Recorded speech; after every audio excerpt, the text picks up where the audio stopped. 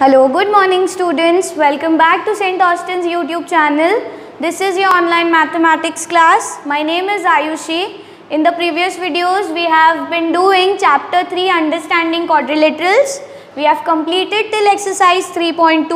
Today we will be doing exercise 3.2. 3.3 sorry. This is the first question. Question number 1. This parallelogram has been given to us. A, B, C, D. AC and BD are the diagonals and these diagonals intersect at the point O. Okay and uh, in this question we have to complete these statements. First of all AD equals to see AD is this side. We know in a parallelogram the opposite sides are parallel and equal. So this implies that this side is equals to this side, this side is equals to this side. This means AD is equals to BC.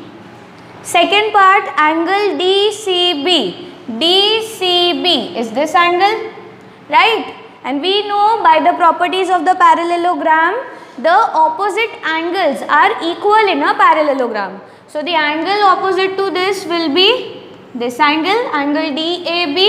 So here we have to write angle DCB equals to angle DAB. Next we have OC. OC is this side. This is equal to what side that we have to write.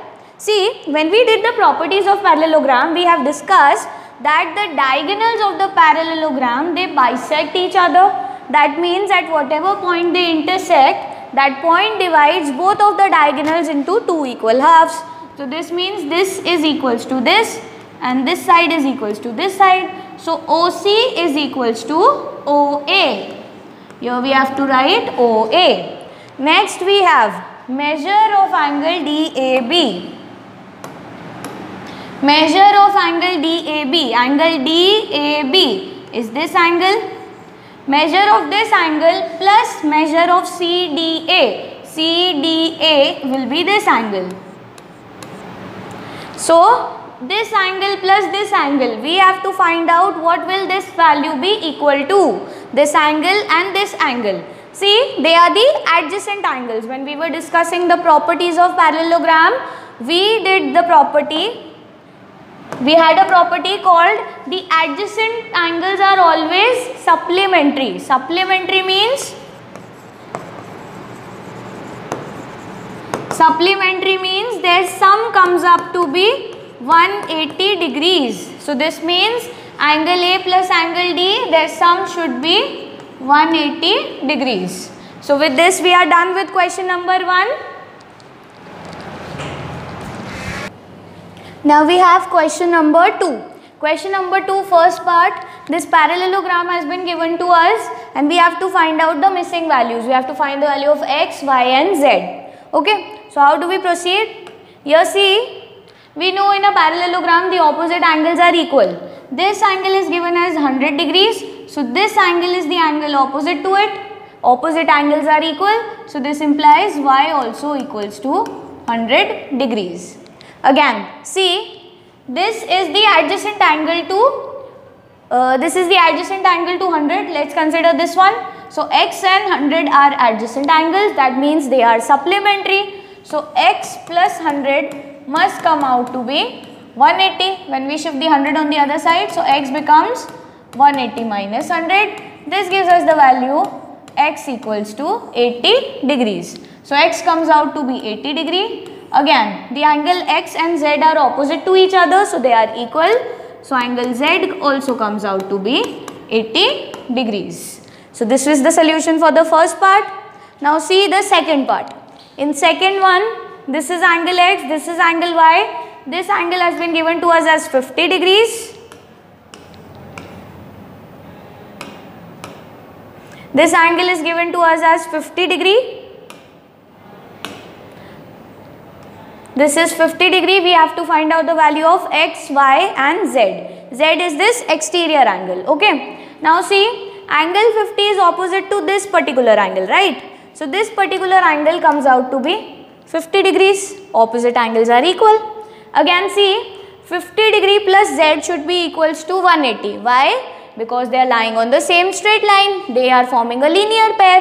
So 50 plus z equals to 180 From here if we shift the 50 on the other side, z equals to 180 minus 50. So z equals to 130 degree. We get the value of z as 130 degrees. Okay. Here again see angle x. Angle x and 50 degree they are forming adjacent pair. Okay. And adjacent angles are always supplementary. So again 50 plus angle x must be equals to 180. So x is equals to 180 minus 50. This gives us the value of angle x also as 130 degrees. Now see angle x and angle y they are opposite to each other and we know in a parallelogram opposite angles are always equal. So angle y is also equals to 130 degrees. With this we are done with the second part also. We have found out the value of x as 130, we have found out the value of y as also 130 and the value of z is also 130 degrees. Okay, moving on to the next part. Question uh, part number 3 will be for you to try by yourself. Part number 4th. Part number 4 C. again this is a parallelogram, this is angle x, this is y, this is z and this is 80 degrees. First of all, opposite angles are equal. 80 degree is opposite to y. So, this gives us the value of angle y as 80 degree. Okay. Then again, see x and 80, they are the adjacent angles. So, they have to be supplementary. This implies that their sum must be 180. From here, if we shift the 80 on the other side, so 180 minus 80 and x comes out to be 100 degrees. X is coming out to be 100 degrees. Okay. Now again see, this is 100 degree. This is the angle opposite to this. So this must also be 100 degrees. 100 plus z. 100 plus z is forming lying on the same straight line. This means they are what? They are a linear pair. They are forming a linear pair. The linear pair, the sum is always 180 degree. So z equals to 180 minus 100. This gives us the value of z as 80 degrees. So we have found out the value of z. We have found we found out the value of z. We know the value of x and we know the value of y. So this was a solution for the fourth part. Now in the fifth part. Fifth part see this angle is 112 angle y is opposite to this. So, angle y must also be equals to 112 degrees. Again, see, in this triangle, if we are naming this suppose A, B, C and D. In this triangle, upper triangle A, B, D, we have two angles. The third angle we have to find. So, how do we find the third angles beta?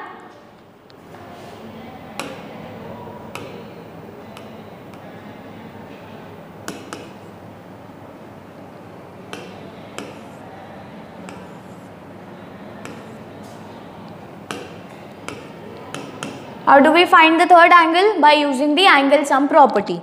We know by angle sum property, we know sum of all angles of a triangle equals to 180 degree. This implies in triangle, what triangle are we considering? We are considering the triangle a, B and D. We have the angle Y plus this angle 40 degree plus this angle X. This must be equals to 180. The, we have already found out the value of angle Y which is 112. So 112 plus 40 plus X gives us 180. If we calculate this, this comes out to be 152 plus X equals to 180. Now we can shift this 152 on the other side. So we get x equals to 180 minus 152. From here we get the answer 28 degrees. Here we have x equals to 28 degrees. See, x comes out to be 28 degrees. And see, here this is 28 and this is angle z. Since this is li this line and this line, they are the opposite sides of a parallelogram This means they are parallel to each other. This AD is parallel to BC. This implies angle X and Z must be equal. Why? Because we know whenever two lines are parallel, the transversal which is uh, intersecting them, the transversal intersecting them forms the alternate angles and the alternate angles are always equal whenever the two lines are parallel. So from here we can write angle x equals to angle x equals to angle z equals to 28 degrees as BC is parallel to AD and x and z are alternate angles and we have learned by the properties of uh, parallel lines that alternate angles are always equal whenever the lines are parallel. So from this we are done with this we are done with the fifth part as well.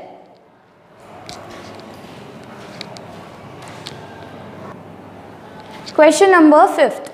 The measure of two adjacent angles of a parallelogram are in the ratio 3 is to 2 we have to find the measure of each angle of the parallelogram. So let's first draw a rough sketch of the parallelogram.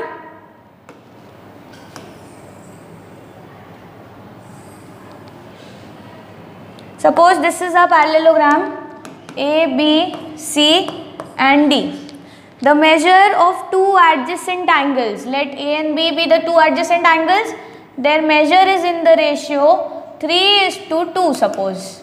Their measure is in the ratio 3 is to 2. We have to find out the measure of all of the angles. Okay. So let us just consider let angle A equal to the ratio is 3 is to 2. So let us consider angle A equals to 3x and angle B equals to 2x. Again we know the adjacent angles are always supplementary. So angle A plus angle B must be 180 and why? We have to write the reason as well because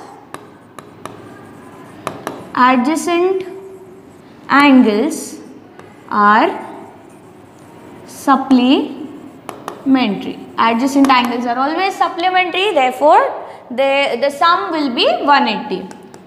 A is equals to 3x and B we are considering to be 2x. So 3x plus 2x is equals to 180. From here we have 5x equals to 180, x equals to 180 by 5. So this gives us the value 36. So the value of x comes out to be 36. Angle A we consider to be 3 into x. x is equals to 36. So 3 into 36 is 108. This means angle A is of 108 degrees. Angle B equals to 2 into x. This is 2 into 36. This comes out to be 72 degrees.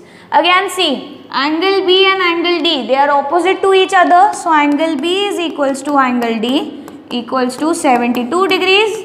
Why? Because they are the opposite angles of parallelogram. They are the opposite angles of the parallelogram.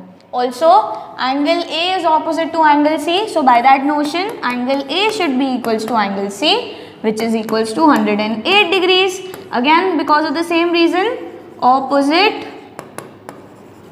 angles of parallelogram. In a parallelogram the opposite angles are always equal. We are considering that and because of that reason we can write this. So hence here we have found out all the angles of the parallelogram. So this is it for this video. We'll be doing the uh, we'll be doing more questions in the Zoom class. Thank you.